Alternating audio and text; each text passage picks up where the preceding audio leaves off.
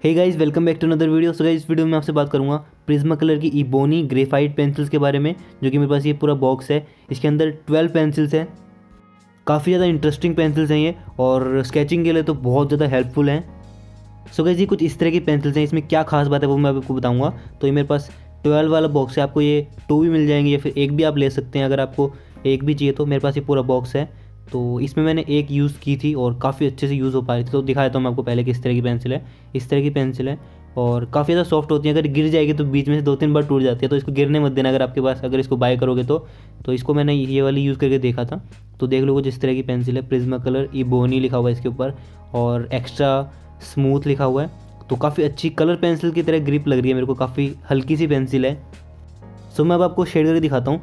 इसकी खास बात यह है कि इस पर आप बिल्कुल लाइट भी शेडिंग कर सकते हैं और डार्क भी कर सकते हैं अपने प्रेशर के अकॉर्डिंग अगर आपको लाइव स्केचिंग करना पसंद है जल्दी जल्दी कोई स्केच ड्रॉ करना पसंद है या फिर आउटडोर में स्केचिंग करना पसंद है, तब आप इसको यूज़ कर सकते हैं क्योंकि वहाँ पे तो आपको ओनली एक ही पेंसिल का यूज़ करना पड़ेगा जल्दी जल्दी स्केचिंग करनी पड़ेगी। तो इसमें आपको बी से लेके फोर बी सिक्स बी तक के ग्रेड मिल जाते हैं। तो देखो अभी मैंने बिल्कुल लाइट कर रहा हूँ और थोड़ा प्रेशर का अप्लाई करूँगा तो थोड़ा डार्क हो जाएगा।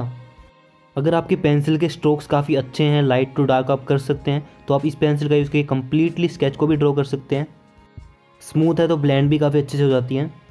और बिल्ट क्वालिटी भी काफ़ी अच्छी है तो शार्प भी काफ़ी अच्छे से हो जाती हैं। बस गिरने मत देना, क्योंकि अंदर से टूट जाती है फिर ये।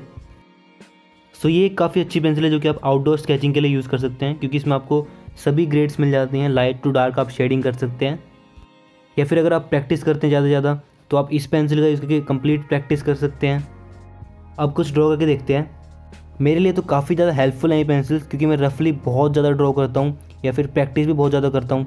तो जो कुछ भी मिल जाए, मैं ड्रॉ कर लेता हूँ तो रफली तो इससे कर पाऊँगा। शेडिंग भी काफ़ी अच्छे से हो पाती है, जैसे कि आप देख सकते हैं। आई में काफ़ी डार्क वैल्यूज़ को भी ऑप्ट कर पा रहा हूँ मैं। तो इस तरह से अगर आप कोई रफली कहीं स्केचिंग करते हैं, ज़्यादा टाइम लगा के नहीं करते हैं जल्दी जल्दी करने की ट्राई करते हैं तो आप इस पेंसिल से कर सकते हैं, क्योंकि डार्क वैल्यूज़ को भी ऑप्ट कर सकते हैं लाइट से भी कर सकते हैं। वैसे यही तरीका सबसे बढ़िया होता है प्रैक्टिस करने का, क्योंकि स्केचिंग में आपको अपने स्ट्रोक्स दिखाने होते हैं स्ट्रोक्स के अकॉर्डिंग ड्रॉ करना होता है। अदरवाइज़ टाइम लगा के तो कोई भी ड्रॉ कर देगा टाइम लगा के एक, या आधा घंटा, एक घंटा लगा के तो कोई भी ड्रॉ कर देगा, बिल्कुल रियलिस्टिक बट इस तरह से आपको स्ट्रोक्स दिखाने होते हैं, अपनी शेडिंग दिखानी होती है। स्टिल लाइफ भी काफ़ी अच्छे से ड्रॉ कर सकते हैं इस पेंसिल से। तो अभी मैं आपको ड्रॉ करके दिखाऊँगा। तो ये मैं ड्रॉ कर रहा हूँ ईयर और नोज़ एक और और कुछ एनिमल्स वगैरह भी ड्रॉ कर सकते हैं रफली अगर आपने प्रैक्टिस करने के लिए ड्रॉ करने हैं तो।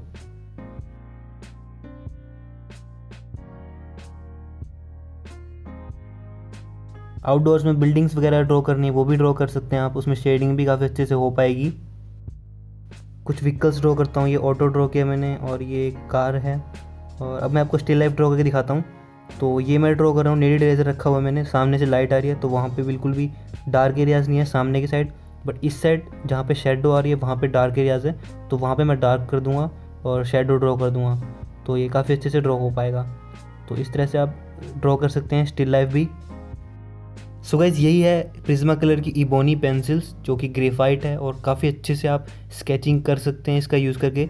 सेम टाइम में आपको बिल्कुल लाइट शेडिंग भी मिल जाएगी। अगर डार्क करना चाहें थोड़ा प्रेशर का अप्लाई करके आप डार्क शेडिंग भी कर सकते हैं। और इसका प्राइस है वन हंड्रेड रुपीज़ एक पेंसिल का प्राइस वन हंड्रेड रुपीज़ की मिलेगी आपको ये।